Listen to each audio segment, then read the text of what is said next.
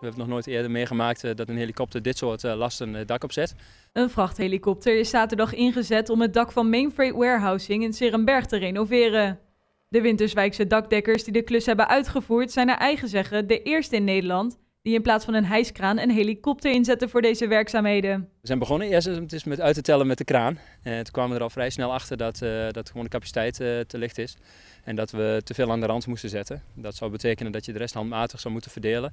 Wat eigenlijk gewoon ergonomisch uh, nou, niet te doen is, gezien de hoeveelheid. De hal in Serenberg heeft een dak van 30.000 vierkante meter en is daarmee te groot voor een hijskraan.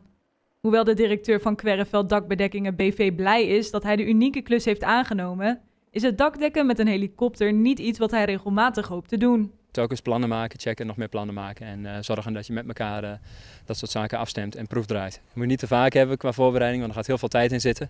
Maar zo af en toe dan uh, keer je wat bijzonders, dan geeft dat weer een boost. Naast dat de voorbereidingen langer duren, brengt deze unieke manier van transporteren nog een aantal verschillen met zich mee. Allereerst de stress, die, die, is goed aanwezig.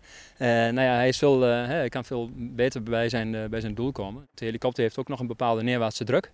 En dat hebben we door een constructeur laten berekenen, wat voor effect dat heeft op het dak. Vergunningstechnisch ben je, ben je aan andere zaken verbonden. de provincie moet een vergunning afgeven. je vliegt boven openbaar terrein, je zit met geluidsoverlast.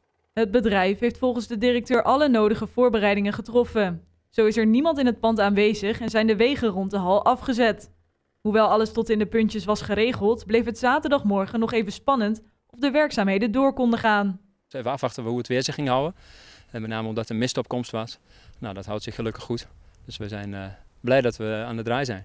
Hoewel het vliegen met een helikopter nooit eerder is gedaan binnen de dakdekkerbranche, heeft Van Zandvoort nog een opdracht bovenaan zijn lijstje met meest bijzondere klussen staan. Logistiek gezien is dit de meest bijzondere. Uh, een andere klus hebben we in 2016, dat was ook een hele, hele bijzondere. Daar hebben we de ambassade in Beijing hebben wij, uh, gerenoveerd. Er zijn mensen van ons met materiaal in de zeecontainer naar China gegaan. Ja, die blijft ook wel bij ons in de gedachten hangen.